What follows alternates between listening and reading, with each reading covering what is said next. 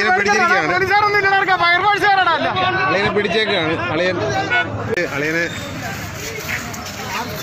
അളിയനെ കൊണ്ടുവരികയാണ്. ഇതാണ് അദ്ദേഹം. ഇതാണ് ആ ബോസ്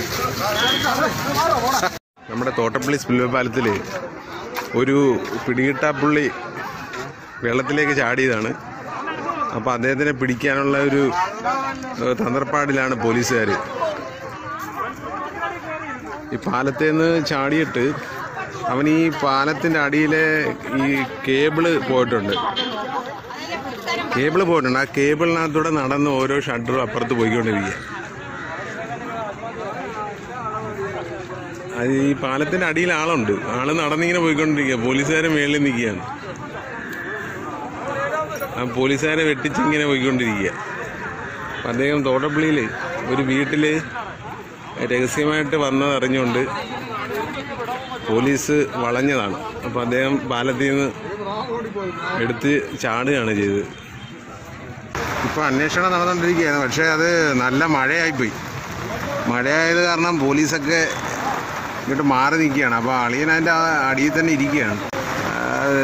വെള്ളത്തിലിറങ്ങിക്കഴിഞ്ഞാൽ കരയ്ക്ക് കയറാൻ നീന്തി നിന്ന് കഴിഞ്ഞാൽ ചിലപ്പോൾ താന്നു പോകും. അപ്പോൾ അത് കാരണം ഇപ്പം ഫയർഫോഴ്സൊക്കെ വന്ന് കിടപ്പുണ്ട്. അപ്പോൾ നല്ല ശക്തമായ മഴയാണിപ്പോൾ പാലത്തിനടിയിൽ ഇരിക്കുകയാണ്. അപ്പോൾ ഫയർഫോഴ്സ് സാറന്മാരൊക്കെ ഇവിടെ നിൽക്കുകയാണ്. അപ്പോൾ ഈ ഒഴുക്കുള്ളത് കൊണ്ട് കൂടുതൽ ദൗത്യത്തിലേക്ക് ഇറങ്ങാൻ പറ്റാത്ത അവസ്ഥ. എങ്കിലും വള്ളത്തിൽ രണ്ടു മൂന്ന് പേര് വരുന്നുണ്ട്. ഇവർ ഈ അടിയിൽ ഇരിക്കുന്നത് എവിടെയാണെന്ന് അറിയാം. വലിയൊരു പിടികിട്ടാപ്പുള്ളിയാണ് ഇതിന്റെ അടിയിലിരിക്കുന്നത് ഹരിപ്പാട് ഡിപ്പോയിലെ ഫയർഫോഴ്സ് ഉദ്യോഗസ്ഥരായ സാറന്മാരാണ് ഇരിക്കുന്നത്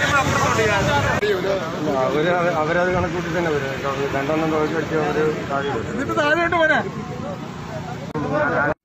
അളിയൻ ഈ പാലത്തിന്റെ അടിയിൽ നിന്ന് അക്കരെ അപ്പുറത്തെ സൈഡിലോട്ട് മാറിയിരിക്കുകയാണ്. അപ്പം നേരത്തെ വള്ളത്തിൽ വന്ന ടീമുകൾ ഇതിന്റെ അടിയിലുണ്ട്. ഇതിന്റെ അടിയിലൂടെയാണ്.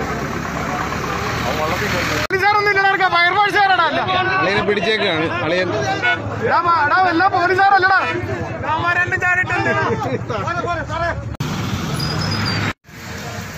അളിയനെ കൊണ്ടുവരികയാണ്. അളിയനെ അളിയനെ പിടിച്ച് അളിയനെ അളിയനെ കൊണ്ടുവരികയാണ്. ഇതാണ് അദ്ദേഹം. ഇതാണ് ആ ബോസ്. ・